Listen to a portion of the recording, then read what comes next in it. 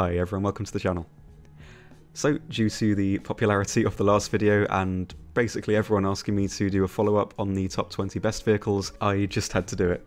So I don't want this channel to become a list channel, so this will be the last one for a while, but I will put them in in between other reviews and other little things I'm doing, just as a bit of fun really and a little bit of a break. So like the other list, this is just my opinion, these are the vehicles that I think perform the best in the game, not necessarily fundamentally the best vehicles, and a little bit unlike the last list, the vehicles in this one are a little bit interchangeable, so the tanker number 17 could equally be swapped out for the tanker number 13 without really ruining the integrity of the list itself. So most of the vehicles aren't necessarily better than each other until we start getting into the top 10. So without further ado, I hope you enjoy the list and keep your eyes and ears out for a couple of friends I've enlisted to help on this list too. I really hope you enjoy. Number 20. So starting off we have the Ho-Ri production. Now this was a, a, bit of a tricky choice for number 20. There were loads of tanks that could have filled this role very easily, uh, but after talking to a few people eventually did settle on this one. So at 7.0 it's got quite a lot going for it. It's got a fantastic gun, 105mm with a 9.1 second reload on expert, uh, which is pretty good. It's on par with quite a few of the other vehicles you're going to be seeing, and the damage the gun puts out is definitely worth the reload. It's a pretty reliable one-shot machine, despite however being an APHE round, meaning it does lose a little bit of penetration on slope surfaces, but it isn't really much of a substantial problem. It doesn't really hinder the tank much. It's uh, very quick as well, it matches pretty much all medium tanks in speed and even some light tanks as well. This tank is a little bit of a subversion actually to uh, most uh, tank destroyers in that most of them only have one good thing going for them, either really good armor, really good gun, or really good mobility. This one pretty much has all three. The armor's great, the armor's pretty reliable, it's very very quick and got a very good gun, so, so it really stands out in that regard uh, for being a casemate. So obviously it doesn't have a turret, so it can't really look around and have that extra level of versatility. But for what it is, you know, as a sniper, as you know, you can even use it as a flanker if you're mad enough, and it does work really well in pretty much any situation you put it in. And for a tank to really be fantastic, you're going to need one that's reliable and versatile, and this one, despite being a casemate tank destroyer, actually does tick those boxes. The main downside for this thing really is that it doesn't have much of a fallback if it gets taken out. The Japanese 7.0 lineup is uh, quite limited in that it only contains this. So you're going to be relying on 6.7s, and the 6.7s Japan gets aren't really fantastic anyway. So on that basis, it's going to be sticking at number 20. Number 19. Next up is the T-32, the American 7.0 heavy tank. So the armor on this one is so good that there are very few tanks at the tier that can reliably penetrate it. And there are weak spots of course, there's uh, the lip on the top of the turret, the machine gun port and the lower plate. This isn't really much of a problem though, in that anything the T-32 meets is likely going to have to stop and take quite precise aim to get a penetrating hit, while the T-32 would have likely already one-shot them. Speaking of, the gun is very good, it's very very damaging, it's got about 200mm of penetration on the APHE round, which is what everyone's mainly going to be using it for. Uh, it is let a little bit down by the reload, but even so, combined with the armour and the mobility, it really just is a fantastic vehicle with very few downsides. For a heavy tank, the mobility is actually quite good, it keeps pace with quite a few medium tanks actually, which means it can easily get to the front lines and really put the pressure on early game when it's only really be meeting light and medium vehicles which have no real hope of penning it at all, meaning it can find a good spot early and dig itself in before the heavy tanks that actually pose a threat to it can even get close. The T-32 also performs surprisingly well in an up tier, there are quite a few 7.7 vehicles that struggle to get through the armour as well. Mainly the Russian tanks, as the APHE really does struggle with the T-32's armour, and even if it's hull down there are quite a few other tanks with Sabot that still struggle as well, as the mantlet is about 300mm thick, meaning there's not really many rounds at all at 7.0 that can reliably go through it. Overall, the T-32 is a fantastic versatile brawler that practically any tank is going to struggle to take out. Number 18. Next up is the ever popular T-29, another American heavy tank at 6.7. So this one is practically good at everything. It's got, again, like the T-32, good mobility, good armor, and a great gun. Uh, and being at 6.7, it means that it's going to meet things like the Tiger 1, uh, the Panthers, like things that can't really penetrate it anywhere unless they hit the lower plate. Uh, combined with the staggering one-shot potential of the gun makes it for quite a dangerous vehicle. The reload experted clocks in around 13 seconds, which for the power the gun has is really, really worth it.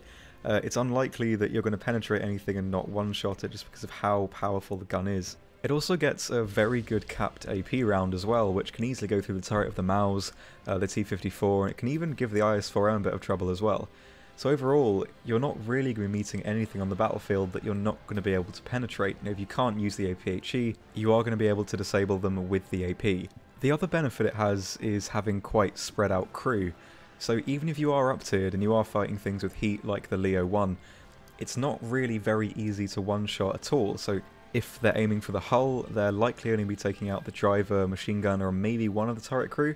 If they're going for the turret, they're only really going to be taking out two of the six crew, which makes it really hard to um, take out quite reliably, even with heat. So in an up tier, although it's probably going to get disabled, so it's going to get the breach taken out quite a lot, it's not going to get one shot, and it has quite a good reverse gear as well, meaning you can get out of those situations. Overall, it's a really forgiving tank that works well basically everywhere. Number 17. Next up is the Chi-To, one of the few Japanese tanks that actually is quite exceptional.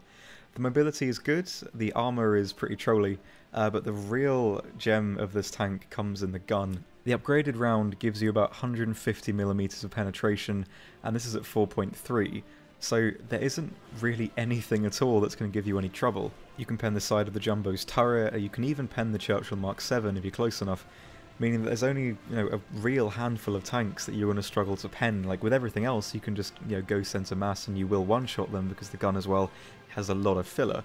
So most of the tanks you're going to be seeing, like uh, the Shermans, T-34s, it's going to cut through them like butter. The armour itself as well is quite bouncy, despite only being about 75mm, there's a lot of spots on the tank that aren't really going to merit a good penetration from most other shells. The American Short 75 struggles quite a bit, most of the early British guns do as well, so you are going to be able to brawl a little bit with this tank. The only drawback really is that its reload is comparatively quite long, so it is a little bit longer than most of the mid-caliber guns you're going to be seeing uh, for all of the other nations, but when you take into account the sheer power of the gun itself, it really doesn't matter. Because if you do penetrate, you are pretty much guaranteed to knock the tank out. It's really that powerful, and really does breathe a little bit of life back into the Japanese tree. Number 16. Next up is the German Sherman, which is quite a rare vehicle actually, and that itself does tie into why the vehicle performs so well. Uh, it does have that little bit of rare factor, so when people immediately encounter it, they might not actually know that it exists, um, certainly when I've been playing I do come across people who've never seen the tank before. But the main thing is that um, it's in the German tree. And what made the American M4A2 in the tech tree so sort of average is that it does fight the German guns, so its armour isn't really that reliable. But when you take the German guns out of the equation, it's very, very good, and especially because you're also going to be fighting Americans and British, who have never really needed to fight a Sherman with their guns before, so they're not going to know what to do. And if you practice, you can learn the weak spot, so there's a little bit of armour on the turret that's a bit weaker to take into account the electric turret drive, and that's a spot that can easily one-shot the tank with the German Sherman if you're fighting other Shermans. So the only real drawback the main Sherman had is gone, which makes this one a fantastic brawling tank.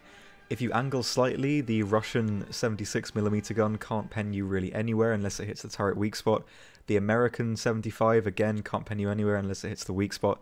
And since the players using these tanks aren't really going to be thinking of that weak spot, they're just going to go for your front plate and your turret and they're really going to struggle to take you out. So taking into account the damaging gun, the good mobility and the reliable armour, combined with the heavy hitting power of the German teams, it really does make this vehicle stand out quite a lot. Number 15. The last thing you'd want in your German 5-7 lineup is the... oh god. Oof, don't know what came over me. Back on track. Next we have the Ersatz M10, which is arguably the best standard Panther in the game. So what we've really got is the Panther G hull with the Panther G turret, which is missing the uh, the chin extra bit of armor, so it does basically have the armor model of a standard Panther D or A, but with the extra side armor of the G, meaning that the overmatches can be a little bit harder to get on other tanks, so you can angle a little bit more if you need to. On top of that, you do have the very small extra bit of armor as well that comes on as the package to make it look like the American M10 tank destroyer, which means it does have added protection against high caliber HE and uh, even HESH rounds if you are fighting tanks with HESH, which isn't really going to happen very much anyway. But you do have the very good mobility, the very good turret traverse, and the very good gun, all at 5.7. And the reason for this is, um, in the way Gaijin balances things, is because it doesn't get APCR. So the Panther G and the Panther A at 6.0 both get APCR, this one doesn't. So uh, that's why it's at 5.7.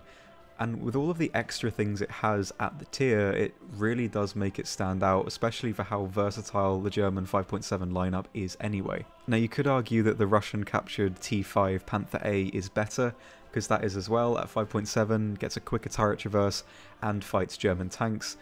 But I still think the ersatz is the better option because it does go very nicely with the German 5.7 lineup and it does get the extra side armor as well which really does help against things like Pershings, uh, T-3485s. It can stop the overmatch from those rounds which does make it a really good brawling tank and a sniper, basically does anything you want it to really. Number 14.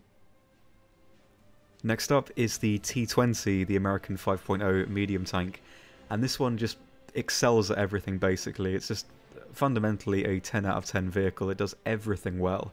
It's got really good mobility, really good gun, and really good armor. especially for a medium tank, the armor is really, really good. Um, it's about 88 millimeters on the turret and the front plate.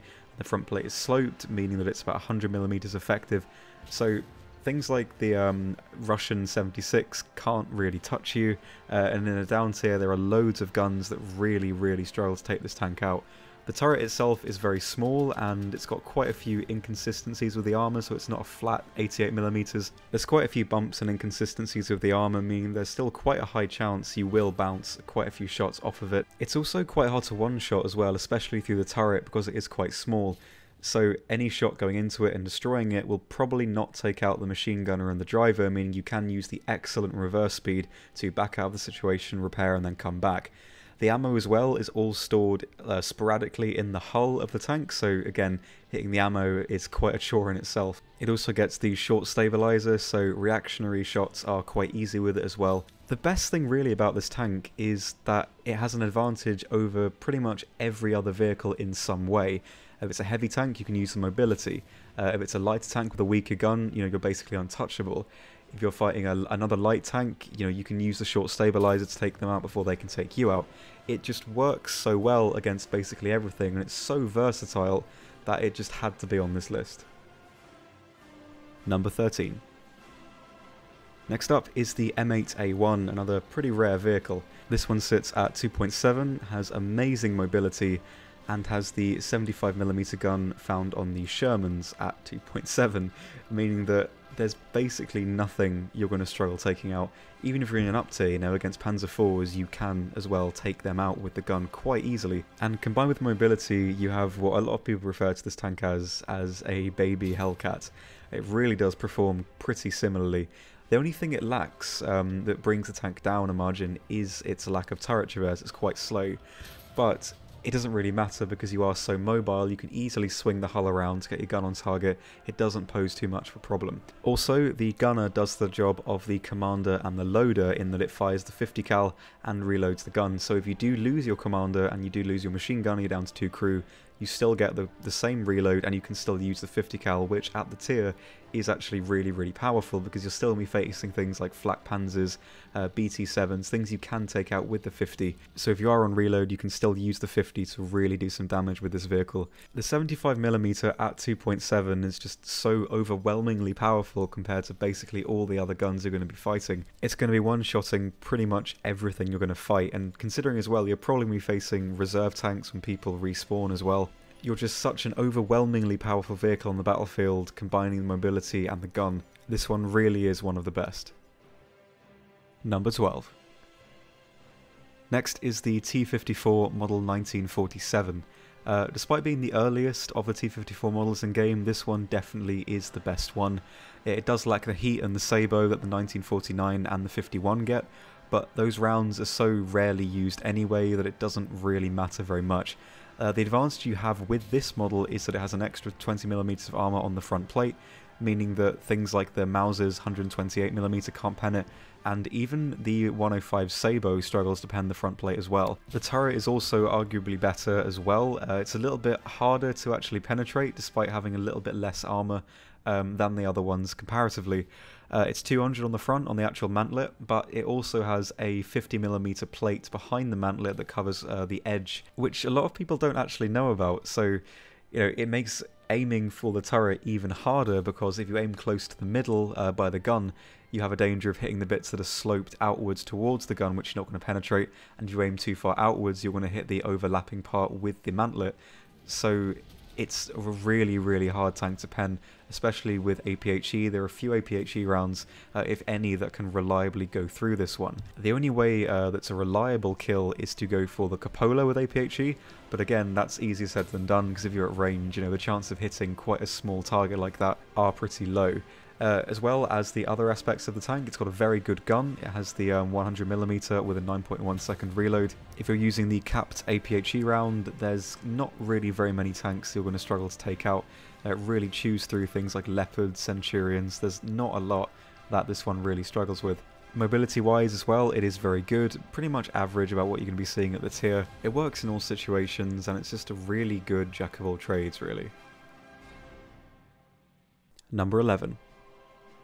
Next up is the Panzer IV F2, the first long barrel Panzer IV for Germany. And the reason why uh, I'm picking this one as opposed to the Panzer IV-G is that this one is just so dominant at its BR. It does lack the extra 30mm of armour on the front plate and the extra turret traverse that the G gets, but it does sit at 0.7 below in BR, so it's not going to get up tier to see things like Jumbos, Churchills. It's going to have a much better time in the Matchmaker, and at a 3.3 down tier, it's going to be bullying tanks like Stuarts and T50s, things that don't really stand a chance with it. The armour on the Panzer IVs isn't something that really matters very much anyway, they're not really known for their armour, but mainly the gun, and at the tier, this gun is amazing. Uh, coupled with the turret, uh, the decent reload, it really, really puts the pressure on in a down tier, and even works basically exactly the same in an up tier as well. This tank does work up to BRs of, you know, even about 5.0, so it's performing constantly. I mean, you can keep it in lineups and use it as a reserve. It's constantly going to be as effective as it is at 3.3. This one's gun and mobility are just so overwhelmingly potent at the tier. This Panzer IV, at least relative to the BR, is definitely the best one. Number 10. What happens when you combine a fast autoloader, a stabilizer, maneuverability, and also speed? Well, you get yourself the bane of rank 5. It is the Object 906. This Soviet vehicle wasn't anything special until the mechanic of a stabilizer was added to the game, and then it became a powerhouse. Only to be added to this was the fact that it was able to get scouting, and therefore the airstrike, and improved optics modification. Over the last year, the Object 906 has been given some buffs, as I said, in the form of the stabilizer, and also some nerfs from a gameplay point of view. Being put up to rank 6 and battle rating 8.0 means that it's kind of more on its own now when before it was around the 7.3 BR. What made it so powerful is that you could run it with the Act 23 back in the day. You could also run it with the IS-6, and you could run it with the T-54s, and being up-tiered in the 906 was no issue. Nowadays, at around about 8.0, if you are up-tiered, you're going to have to use it as a scout, instead of before it was used much more as a pseudo-fast medium tank. It does also have hull brake to it, but sometimes the hull brake is a little bit iffy on how it works. But overall, what you have out of this machine is the best 85 in the game, a wonderful stock grind because you get the BR372 as stock and then the Heat FS to back it up. And even if you're outmatched, even if you can't attack the enemies on equal ground, you still have the scouting ability to be able to make sure that your allies around you are able to take them out for you. I've been the European Canadian. I'll see you next time. Number 9. Next we have the M4A3 E2 Jumbo. This is the 75mm variant at 4.7 in the American and French tree. The reason why this tank is so dangerous is that it completely negates guns that it can face. There are certain tanks around the bracket of 4.7, either way really, that can't penetrate it frontally unless they hit really specific weak spots, meaning that there are certain vehicles on the team that if they meet this vehicle and are unable to flank it, there's nothing they can really do, especially while there's a jumbo rolling towards them. And again, like some other vehicles that have very good armor, when this tank is driving towards somebody, they have a very small amount of time to either go for the cupola, the machine gun port, or the barrel. And while the jumbo's on the move, it's not really very likely you're going to hit that crucial spot. So this vehicle, if played well, there's nothing players can really do. I mean, uh, some people have a tendency to over-angle it so that people can penetrate and overmatch the track into the side. That usually takes the tank out. But playing this correctly and not angling it very much, because the front plate, let's be honest, is basically immune to everything at 4.7, apart from a couple of things like the Dicker Max and the SU-85, a few things like that that can sometimes go through it. The armor's pretty much impenetrable from the vast majority of guns. For the Jumbo's gun itself, it still does work, especially because when you're going up against things, even in an up tier, they're likely not going to take you out in one shot or even penetrate you in one shot. So your reload is very quick. It's about 5 seconds aced, so about 5.3 experted. So you can probably fire about 3 shots for everyone else's 2. So even though your gun isn't that powerful, you do have the time and the safety to pick out weak spots in the jumbo that other tanks can't really do. There are several tanks better than this one, but this might be one of the safest vehicles to play in the game. Number 8. Hey everybody, my name is RedFang, and I've been creating War Thunder related content on YouTube for about a year now, and I've been playing the game for uh, about 4 or 5 years. So to crack on, why is the SD KFZ234 or the Sonderkraftfahrzeug if we want to use the German pronunciation, or the Pakwagen if we want to go with the War Thunder version, a good tank? Well, that 75mm Pak 40 gun sticks out like a giant cherry on top of a small cake.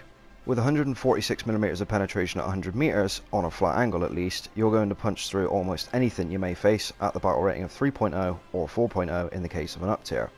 The gun's reload isn't too bad either, at 7.6 seconds. The Pakwagen is incredibly fast too. With a 210 horsepower engine and only weighing in at 11.7 tons, this thing can run circles around most heavies and perhaps even medium tanks at its tier. This tank's speed, which is 90 km an hour according to the stat sheet, can be a problem though, as anybody who's driven the standard Puma will know. The 8 wheel steering can make handling, hmm, tricky at high speeds. What I mean by this is that at high speeds the Puma has this really bad thing where it just wobbles and shakes all over the place and it's hard to keep it in a straight line. This can cause issues, but generally speaking, being a TD, you're just going to park this thing up somewhere and set the range that you're shooting at and prepare for enemy tanks to come to you. Having only 30mm of armour at the front of the hull isn't fantastic either, but you've got to try your best not to get not to get spotted and to only go in guns blazing when it's absolutely safe to do so, which this tank is more than capable of doing, I might add. All in all, I adore this tank. It's fast, agile, and packs a great gun for its tier. To my mind, a great tank must also be fun, and the Pakwagen gives you that in spades. Number 7. Next is the Chi-Nu 2. This is the 3.7 Japanese premium vehicle, and it's basically a Chi-To, but with slightly less armor at uh, 3.7, so it's uh, it doesn't get up tiered as much. And in that regard, tier for tier, this tank has one of the most powerful destructive guns anywhere in the game. So this gun has about 155 millimeters of penetration at 100 meters at 3.7. So there's practically nothing at all that gives this tank any trouble in regards to armor. You can penetrate everything, and because of the destructive power of the gun, you're likely going to one-shot everything as well. The gun is also really easy to aim, it's got quite high velocity, so you can just sit back at range, uh, put your turret over a hill and just snipe people, because if you hit, you're going to take them out. And same with the Chi-To as well. The armor this thing has is a little bit trolly. Uh, the sides and the front plate bounce quite a lot. The turret bounces quite a lot as well. And it's quite difficult to one-shot, especially with solid shot, as the, the gunner and the driver sit on opposite sides, so you're not really going to be disabled in terms of your ability to drive and your ability to shoot at the same time, which really, really helps. Also, it wouldn't be fair to not mention how good of a premium this thing is. It's 3.7, but in tier 3, and it's one of the vehicles that's good in basically any situation where you put it. It's good at long range, it's good at close range, it's good in between. There's not much this vehicle can't do, so, and for a, quite a low price as well, it's not um, it's not an expensive premium. It's probably one of the best premiums in the game as well, tier for tier. So, as a product and as a vehicle, you can't really go wrong with this one. It will work everywhere. Number six. What's up, guys? Rotorhead here. If you guys don't know me, I am a member of G Squad, and you guys can catch me pretty much almost daily on Twitch. Uh, I was very excited to be invited to get in on the 20 tanks video. I was even more excited to get one of the easy tanks, which was the 40T. Uh, it's one of my most played French tanks. Uh, 40T was designed to be a more lightweight variant of the overweight AMX 50. Uh, you can see this by the rubber road wheels and the 40 millimeters less on the hull. Uh, the 40T features only about 40 millimeters all the way around. Um, it features an 8 round autoloader, which consists of one round in the breech and 7 rounds in a drum magazine that you can actually see below the turret. So while you're in game, you can hit your x ray view and you actually see how many rounds you have left before it's depleted. You want to manage this because if you run it dry, you have roughly a 25 second reload for one round and a 2 minute and 25 second reload to reload all 8 rounds. Um, for a BR 6.7 tier 4 vehicle. This is probably the easiest stock grind in the game. Um, just from the get go, this is a very easy vehicle to play. Um, it's very easy to get into advantageous positions early game and use that 4 second reload to dispatch multiple enemies at once. Uh, it's also easy to brawl in close quarters, even though you have a lack of armor with that 4 second reload. You, it's easy to juggle um, multiple enemies at once. Um, but I think all things considered, um, this is definitely belongs in the list of the best tanks in the game. Number 5. Next is the T-34 1942, and tier for tier, this is probably the best T-34 the Russians actually get.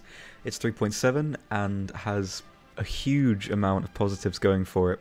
It's got quite bouncy armor, it's got a bouncy turret, it's mobile, got a fantastic gun, lots of versatility options, and it has something over pretty much every other 76mm T34. Uh, the turret armor is pretty much the best out of all of them. It's very bouncy, it's got uh, cheeks that overlap the main turret armor, so nothing's really going to go through that very easily. It does have the neck of the turret, which is quite exposed and quite an easy penetrating shot, but it's honestly quite unlikely to hit it. Um, the top of the turret usually catches the shot anyway. It also has a quicker reload than all the other 76mm T34s because it gets the uh, the modern turret, so it's 6.5 seconds aced instead of 6.9, which the other T34s get. Um, and just against other vehicles, it's it's just very easy. It's a really easy vehicle to play. Uh, you don't really need to account for much in terms of positioning. Your gun works at range, it works against angle targets, uh, it works at close range, mid range. It's it's hard to really put this tank in a spot where it doesn't work. It's also a vehicle that can be incredibly aggressive uh, rushing at people uh, that you're going to be fighting tanks that don't quite have the penetrating power to reliably penetrate you anywhere, like things with the uh, 17 pounder, the German 75. These are things that you will run into, but you'll also run into a lot of vehicles that can't do that. The American 75 as well. Uh, if you're running around a corner angled, you're going to get a shot off on them before they can get a shot off on you. Your gun is very, very potent and very good at penetrating angles. It's got absolutely everything going for it. The only negative really is that it doesn't have much gun depression, but that's very easily countered in where you put the vehicle. And at 3.7, you're rarely going to meet things you're going to have much trouble with. So this one really is just a breeze to play. Number 4. Next, we have the infamous Wirbelwind, and this is a vehicle that, to be honest, does not belong where it sits at 3.7. This one could honestly be about 5.0, 5.3, 5.7. It's it's just too good where it is. It's one of the best AAs in the game, tier for tier, anyway, until he gets a radar AA.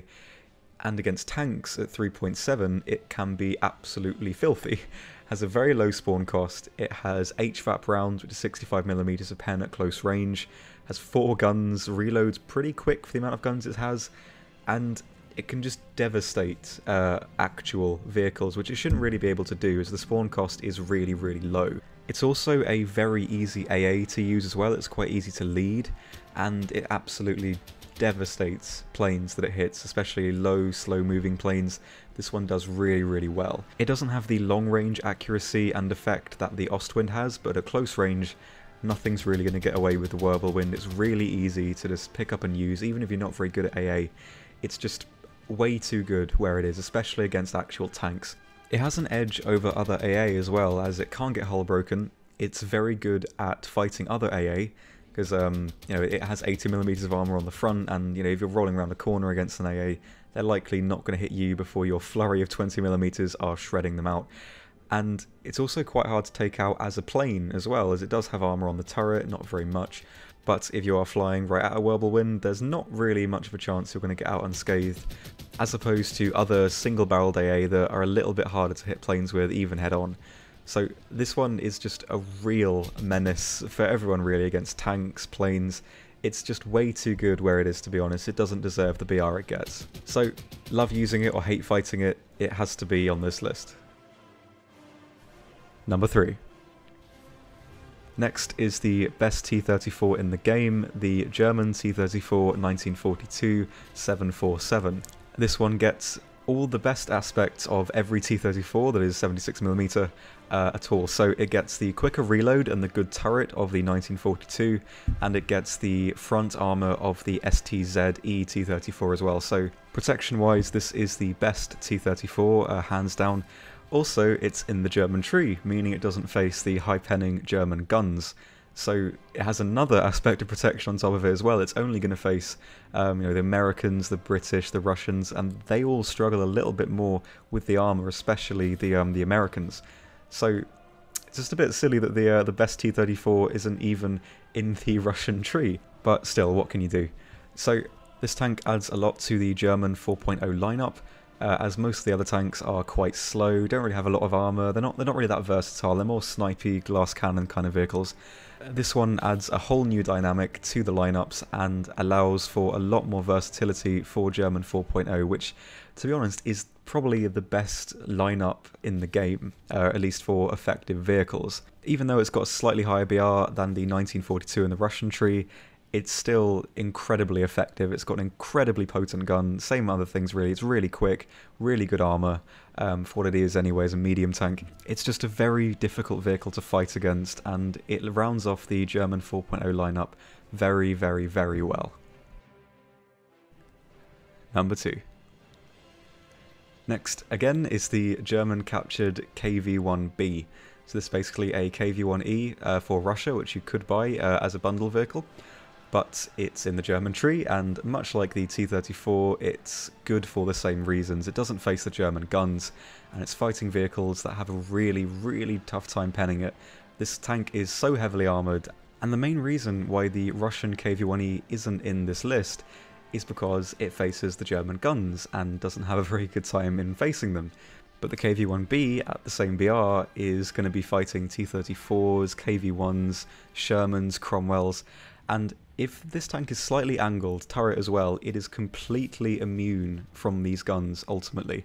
Granted, its gun isn't that potent, it's not doesn't have a lot of penetration, but uh, it sort of functions like a, a pseudo Hesh round because of the fuse on the gun, so you can pen very, very extreme angles with it. So it's very, very good in that regard as well. Like what it lacks in pen, it makes up for in damage. And again, 4.0 German tank, it rounds off the lineup incredibly well, and this probably is the second best heavy tank in the game. You all know what's coming for number one. Number one. Right, no prizes for guessing this one. Everyone knew it was going to be this, the KV-220. What a absolute monster this vehicle is. Basically second to none, tier for tier. Its gun is very reliable and its mobility for a heavy tank is absolutely incredible. This tank can solo entire teams on its own genuinely, that sounds like a very silly thing to say, but this tank can do it, it's that good. The turret armor is on the surface not as amazing as you'd expect, it's about 90mm, but anything that goes right through that mantlet is going to take out the breech and nothing else, and the tank is going to be able to reverse away, repair, and come right back and annihilate anything in its path. The 220 just shrugs off any gun really, the American 90, the German 88, the 17 pounder, it's angled, there's not much that can really get through this one whatsoever. And like other tanks that are quite mobile heavies, like the Jumbo, this thing can just roll right towards anyone, they're going to bounce, you're going to pen, it's, it's just such a filthy tank really at 5.7. I think this was 5.3 when it first came out for the first Operation Summer event. And speaking of, this is a gift vehicle, it's unobtainable. And that makes it even more dangerous in that most players either don't know what it is or don't see it enough to know where to reliably shoot it as it's not in the hangar. They can't use the protection analysis module to actually see how to take it out. And the chances are, if this thing is down tiered, you're going to be playing something that can't really pen it frontally anyway. Um, you can annoy it, you can hassle it, but the crew is so spread out, it's so mobile, taking it out is a massive chore. Um, you're going to have to resort to things like the Dicker Max, the Long 88s, things that have a bit more of an easy time taking it out. But even so, this one is just, to sum it up in one word, it's a monster. So there we are guys, really hope you enjoyed the list. Again, sorry for the wait, I've had so much building work on and it's just buzz saws and things during the day, so has taken quite a while. Um, I do want to say a very big thank you to the European Canadian, Rotorhead and RedFang for helping with this list. Please, please check them out. They're all very good. If I didn't include a vehicle you think should be in this list, uh, let me know what it is. I'd like to see what other people um, agree and disagree with, as, you know, this list isn't fundamentally right. It's just my opinion, really. Anyway, so thank you all very much for watching. The next video I'm planning might take uh, quite a long time, so please forgive the wait. I know these usually have quite a wait anyway, but this one might be a little bit longer, but hopefully it'll be worth it. Hopefully it'll help a few people out, and I really hope you enjoy it, and I really hope you enjoyed this video too. So, as always, thank you very much for watching, and I will see you next time. Goodbye.